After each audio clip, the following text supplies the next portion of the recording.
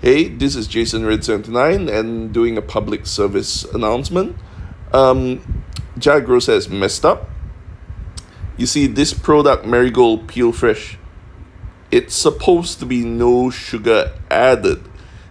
There, this drink actually does contain sugar, but whoever was put in charge of writing the labels, they said, oh, Marigold Peel Fresh, no sugar.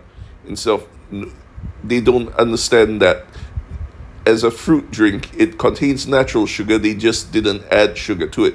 So it does contain sugar. Just check check the con- nutritional contents on the side of the box.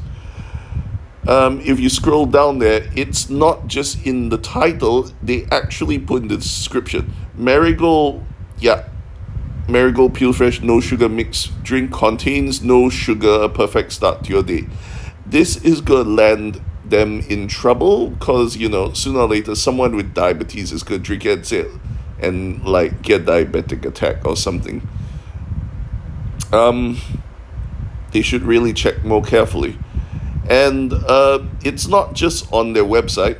I was actually first made aware of this when i was browsing in grabfood and tried to buy stuff from Jaya Grocer and then i happened to see this because um, they basically copy pasted this description. So that's the same description if you go and find the product on GrabFood, Jaya Grocer, so on and so forth.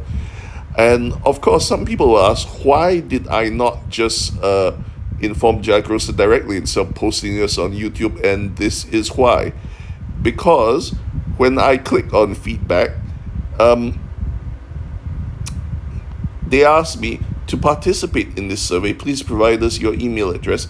And then, you know, I typed in my email address, and then when I clicked continue, they said, uh, no, you have to check. I agree to collection, processing, and use of my personal data. It's like uh, you cannot give feedback unless you agree to the collection, processing, and use of your personal data.